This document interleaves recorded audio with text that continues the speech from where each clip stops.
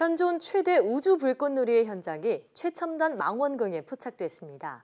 나사는 미국의 독립기념일을 맞아 지난 170년 동안 폭발이 진행되고 있는 에타 카리나이라는 별을 촬영한 사진을 공개했습니다.